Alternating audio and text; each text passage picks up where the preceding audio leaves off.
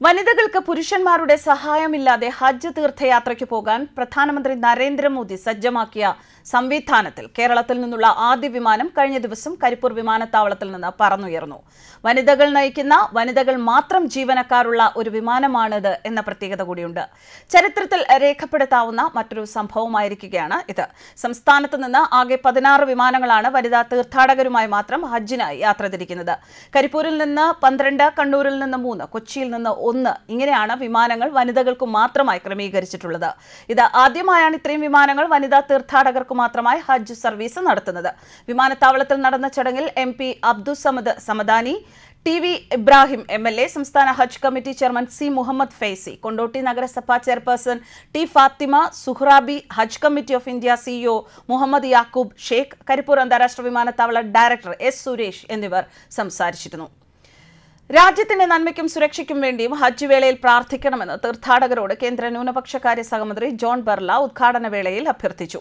സ്ത്രീ ശാക്തീകരണ രംഗത്തെ രാജ്യത്തെ മികച്ച കാൽവയ്പാണ് വനിതാ തീർത്ഥാടകരെ മാത്രം വഹിച്ചുള്ള ഈ യാത്ര എന്ന് കേന്ദ്രമന്ത്രി വ്യക്തമാക്കി. എയർ ഇന്ത്യയുടെ വിമാനമാണ് വനിതാ തീർത്ഥാടകരെയും വഹിച്ച് കഴിഞ്ഞ ദിവസം വൈകിട്ട് ആറേ മുക്കാലിന് പുറപ്പെട്ടത്.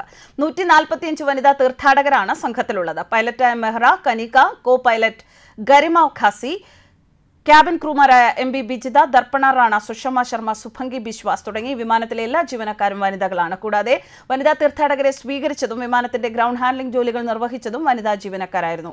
കഴിഞ്ഞ ആഴ്ച ഒറ്റയ്ക്ക് ഹജ്ജിന് പോകാൻ മുസ്ലിം സ്ത്രീകളെ പ്രാപ്തരാക്കി നരേന്ദ്രമോദി സർക്കാർ ചരിത്രത്തിൽ ആദ്യമായാണ്. നാലായിരം സ്ത്രീകളെ മഹ്റമില്ലാതെ അതായത് ഭർത്താവോ പുരുഷനോ ഇല്ലാതെ ഹജ്ജിന് ഇവിടെ നിന്ന് അയച്ചത്. ഡൽഹിയിൽ നിന്ന് മാത്രം മുപ്പത്തി ഒൻപത് സ്ത്രീകളാണ് ഹജ്ജിന് പോയത്. ഡൽഹി വിമാനത്താവളത്തിൽ നിന്ന് മുപ്പത്തി ഒൻപത് സ്ത്രീകൾ അടങ്ങുന്ന സംഘമാണ് കഴിഞ്ഞ ആഴ്ച തീർത്ഥാടനത്തിന് പുറപ്പെട്ടത്. സ്ത്രീകൾക്ക് ഒറ്റയ്ക്ക് ഹജ്ജിന് പോകാൻ സാധിക്കില്ല എന്ന ഒരു പ്രശ്നമുണ്ടായിരുന്നു. രണ്ടായിരത്തി പതിനാലിൽ യു പിയിൽ നിന്ന് ഒരു സ്ത്രീ നരേന്ദ്രമോദിക്ക് ഒരു കത്തെഴുതി ഹജ്ജിന് പോകണമെങ്കിൽ വിവാഹം നിഷിദ്ധമായ തുണയുണ്ടെങ്കിൽ മാത്രമേ നിലവിൽ പോകാൻ സാധിക്കുകയുള്ളൂ. എനിക്ക് തുണയായി ആരുമില്ല എന്ന് മോദിയോട് കത്തിൽ ഇവർ വിവരിച്ചു.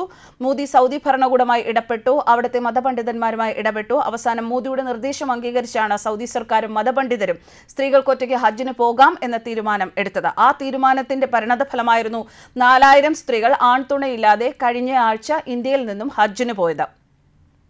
മുസ്ലിം മതവിശ്വാസികളുടെ എല്ലാ കാര്യത്തിലും അതിന്റെതായ ഇടപെടലുകൾ നടത്തുന്ന പ്രധാനമന്ത്രിയാണ് നരേന്ദ്രമോദി എന്ന പ്രസ്താവന വളരെ ശരിയാണ് എന്ന് തെളിയിക്കുന്ന ഒരു ഇടപെടൽ അദ്ദേഹത്തിൽ നിന്ന് ഉണ്ടായത് ഹജ്ജ് യാത്രയുമായി ബന്ധപ്പെട്ട് വളരെ മുൻപേ തന്നെയാണ്. മുസ്ലിം സമുദായത്തിന്റെ ഹജ്ജ് കർമ്മത്തിൽ അദ്ദേഹം ഇടപെട്ട രീതിയും കോൺഗ്രസ് സർക്കാർ ഇടപെട്ട രീതിയും മാത്രം വിലയിരുത്തിയാൽ മതിയാകും. പ്രധാനമന്ത്രി എന്ന നിലയിൽ ഓരോ വിഷയത്തിലും അദ്ദേഹം നടത്തുന്ന ശരിയായ ഇടപെടലുകൾ എന്തൊക്കെയാണ് എന്ന് മനസ്സിലാക്കാൻ.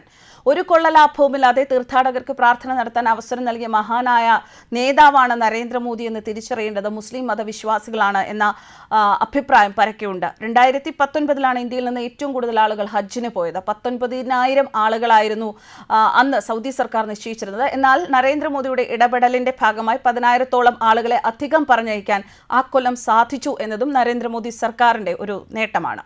News desk കർമാനൂസ്.